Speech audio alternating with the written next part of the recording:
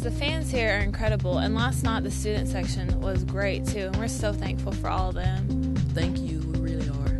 Really grateful. I mean, I like the people who sit in the crowd and heckle the the refs and the other team because I mean, I might get in trouble if I say something, but you know, they own free will. And when you're not on the floor, you're definitely entertained by all the fans and what they have to say and the hand gestures that they give. The jewelry man, yes, he always yells, Nice shot or nice pass. and he sits right by the bench. He's really funny. No on this subject. Wow. That's about all we have.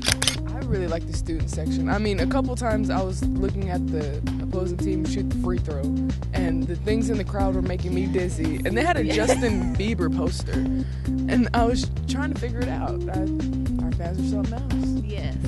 Love the students. Love the students.